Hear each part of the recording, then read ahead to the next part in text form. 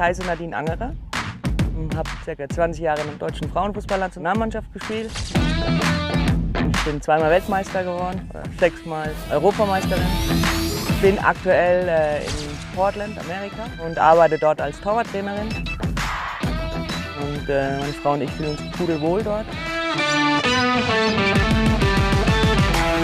Ich liebe Abenteuer, ich bin super neugierig. Ähm, ich liebe Afrika.